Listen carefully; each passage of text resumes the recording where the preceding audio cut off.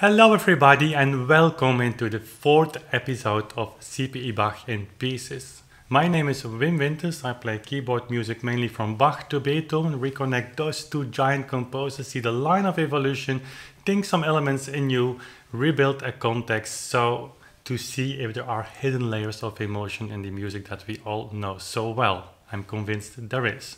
So, previous episode of CPE Bach in Pieces was called number two, which was a little bit of a mistake. That was number three. It has all to do with the pilot episode that I was calling zero, and it's become one.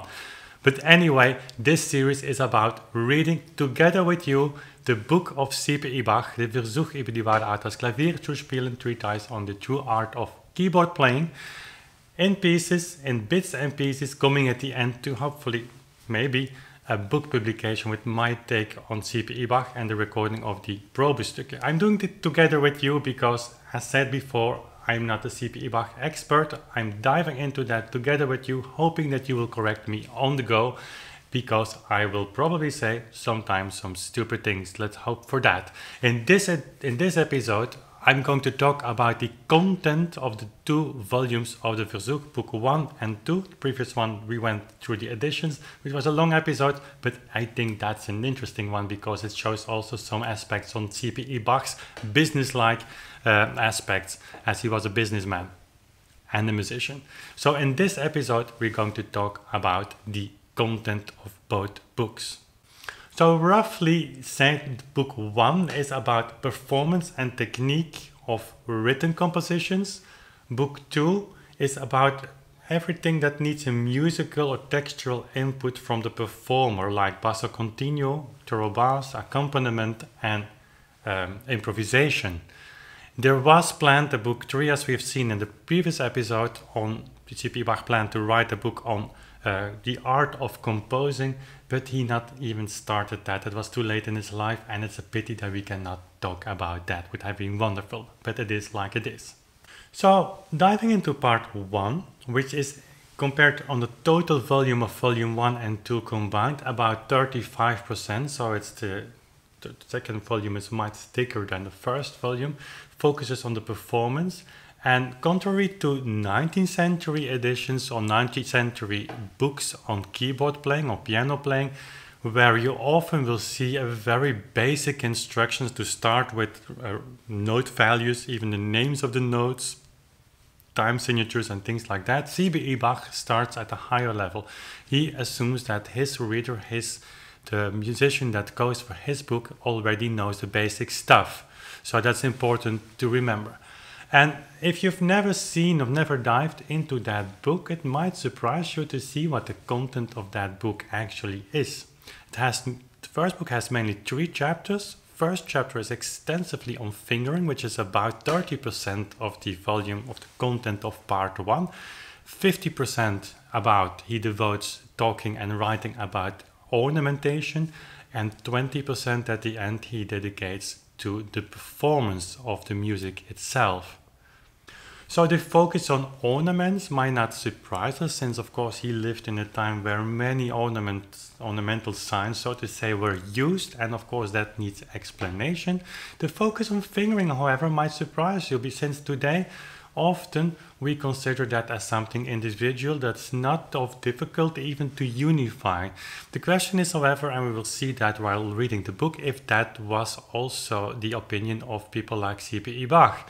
And talking about my own history, when I was in Amsterdam, I was trained eight years by Jacques van Oortmerssen, and Jacques had a very well taught system of fingerings. We had to use fingerings, different system for music for Sweelinck, so to say, the period around that. Then go to Bach, um, uh, Buxtehude even had some other uh, principles. Then going further to the late 18th century, early 19th century, Mendelssohn required another fingering, but was different from the music by Liszt, Brahms, and then we went to the French Romantic um, period where you had another fingering, 20th century, and so on. So we had a system for every time. And what I was seeing in the class and met with my colleague students, that whether people would have like the Japanese girls, for instance, with the very tiny hands, very fine hands, or with my hands, which are much bigger, we all applied the same system. And so it's possible and maybe not so individual as we think uh, it is.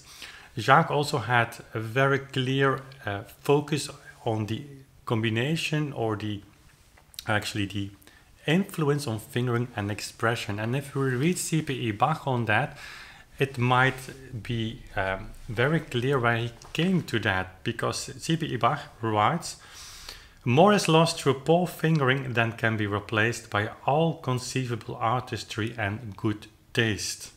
We will dive, of course, in the chapters on fingering more on that, but this just to say that on the three volumes, the three chapters on the first volume, fingering might be the one that we think, well, what's that about? Because that is something we make our own individually. But I believe we have some um, insights to gain by going into that since E.P. Bach really clearly says there is only one good fingering for every figure. So we'll see how he guides us in that. On ornamentation, and I take my notes, he gives a very uh, clear overview, and I will read the German and the English names for the ornaments that he's talking about. He will treat on die Vorschlagen von den Vorschlägen or die Appoggiatura von den Trilleren, die Trill, von dem Doppelschlage or die Turn, von dem Mordenten, the Mordent, von dem Anschlage, de compound appoggiatura, von dem Schleifern, de slide, von dem Schneller, de snap, and von den Versierungen der Fermaten, the elaboration of the fermat. Format, I hope I pronounced that correctly. So, and when the, as said in the previous episode, the first volume went, first and second edition with 18 probestukken, so six sonatas, Wotquenne verzeichnen is uh, 63 1 to 6, and he composed C.P.E. Bach in 18 in the 18 in the 1787 edition six new probestukken, so that's the Wotquenne 63 7 to 12. So that's about it for the first volume. Going to the second volume, which is 65% of the total, obviously, if the first one is 35%, it goes in detail on bass accompaniment and on um, improvisation. So originally C.P. Bach gives kind of a weird overview of 41 chapters, which is difficult to grasp. But fortunately, Mitchell in his 1949 edition gave a, added a, a top layer on that, or several of four chapters, and I will go through them. So in book two, C.P. Bach is talking on the intervals and their signatures as a preparation for the thorough bass or basso continuo. Then he talks about, and that's a very extensive chapter, then he talks about the accompaniment, and as a closure, he comes to the improvisation. Our focus in this series, as we're going for now, will be on the book number one. And if I read a letter from C.P.E. Bach, which he wrote on April 10, 1780, in the midst of negotiations the prices with the publisher Schwickert, you know, we will be remember of the previous episode that Bach sold his rights for the book in 1780 to the publisher Schwickert, Leipzig. So Bach gives, uh, Bach gives us his view on the two volumes and he says, quote, In my letter referred to above, I mentioned that I sell both parts separately, that each individual part is being sold for just three Reichstaler, and that the first part by itself can be of use only to someone who does not want to study harmony but the second, which I created with great diligence, cannot be understood well without the first, since, it, since in the second part I refer to the first on nearly every moment. Without further repetition or explanation. So that's what we're going to do. Focus on number one, on the performance technique and understanding of the um, ornamentation of C.P.E. Bach's work. And personally, that's a side note for me as a performer. I was trained very much as a performer of course, we had all the regular stuff on Basso Continuo and things like that, but I didn't develop that. And that's maybe also a sign of our time that we have to be aware of the fact that whatever we try to do, the distance with those sources, with those people, with that time, with that context becomes only bigger and bigger. We don't live as students anymore in the master's house for months, for years, doing all kinds of things in the household as a kind of payment for having lessons each day. And so uh, our modern conservatory system and is a kind of very far distance from what the practice was in those days. So very few people still today. It's it's it's changing though, and for the better, are occupying themselves with real improvisation and and basso continuo in that way. Very generally spoken, because I know some people who are really, really, really good in that. But that's a kind of skill test of a kind of skill division that one focuses more on improvisation, one more on the basso continuo, and one on the performance, and that's in general something you can say. So book one is more for me, and I think also more practically usable for what we are going to talk about. But we will see how this series evolves, and maybe including some other specialists on that might be a topic or an option as well at the end. That we're going to see.